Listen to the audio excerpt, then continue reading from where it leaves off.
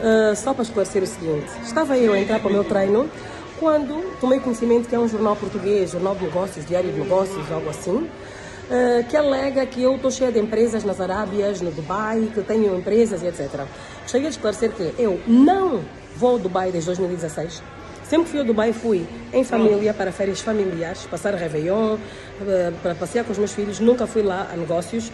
Não tenho nenhum negócios no Dubai, não tenho empresas no Dubai, não tenho nada a ver com o Dubai. Uh, também a DW Deutsche Welle lançou um artigo de um tal jornalista que mencionava o senhor Rafael Marques, eh, falava de um caso de um tal banco, acho que é Banif, banco não sei do quê, punha lá o meu nome no meio do artigo, porque a X é dos Santos, porque volumes de muitos dinheiros, misturada com Manuel Vicente, Copelipa, uh, Carlos Silva, não sei quem, magnatas, gente, gente que representa muito, muito, muito dinheiro pessoas ligadas a empresas que estão no PSI 20, que estão na Bolsa Portuguesa, fizeram grandes operações, tiveram que ser checados pela CMVM.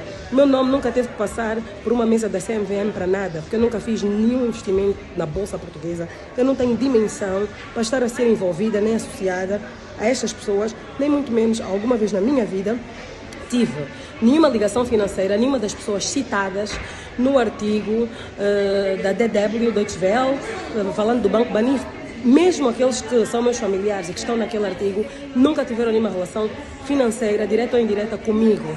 Então, por favor, senhor Rafael Marques, pare de ser maldoso. Eu já falei consigo, já o contactei, já lhe esclareci tudo sobre os artigos falsos que o senhor escreveu a meu respeito, as alegações falsas que fez a meu respeito.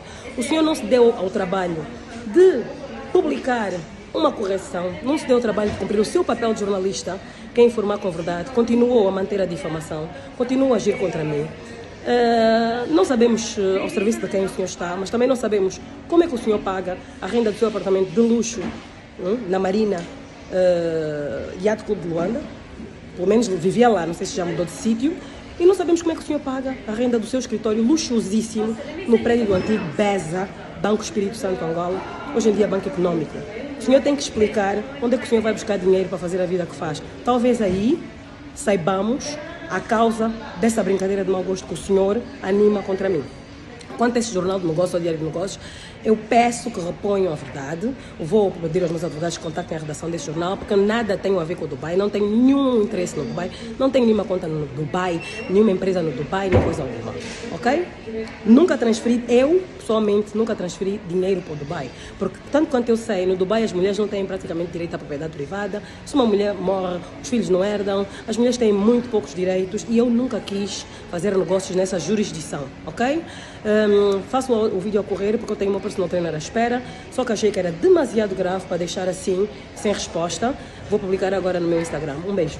Já que esta gente é maldosa, já que essa gente uh, tem por trás uma ditadura que está a animar tudo isso, que paga agências de comunicação para andar a desinformar e a difamar as pessoas, a difamar os seus alvos políticos, uh, pessoas que os incomodam, pessoas que os criticam. Então vamos usar o meio que nós temos, são as redes sociais, para dizer a nossa verdade, já que ninguém nos contactou antecipadamente a pedir o contraditório, que é um crime aberrante, sendo que toda a imprensa portuguesa sabe onde contactar-me. A minha conta Instagram é subejamente é, pública e aberta e todos eles sabem como entrar em contato comigo. Agiram de má fé e com dolo. Um abraço a todos.